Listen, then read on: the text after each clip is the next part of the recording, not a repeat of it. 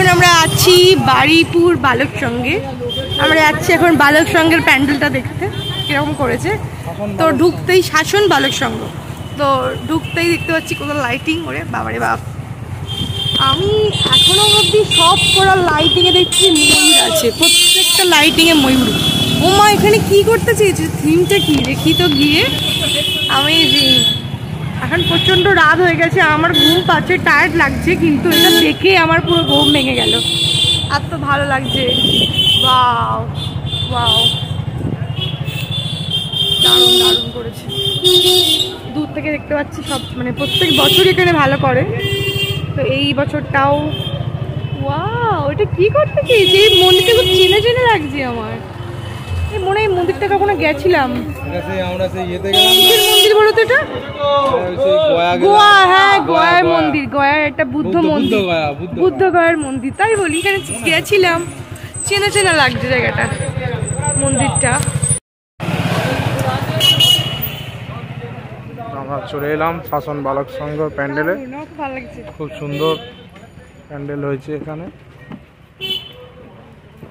পুরনো এটা একটা বুদ্ধ বুদ্ধ টেম্পেল বুদ্ধ টেম্পেল যেমন হয় সেই রকম আদলে করা হয়েছে দেখতেই পাচ্ছেন।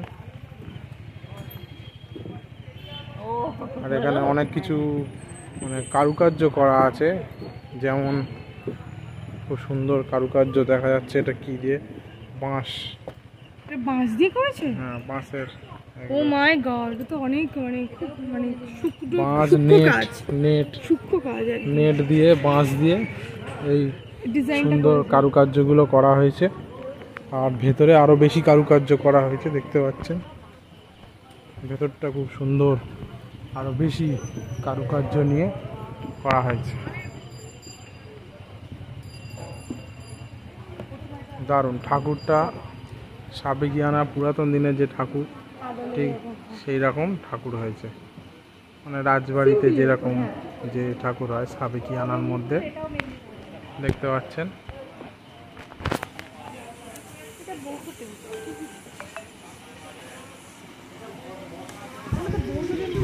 খুব সুন্দর।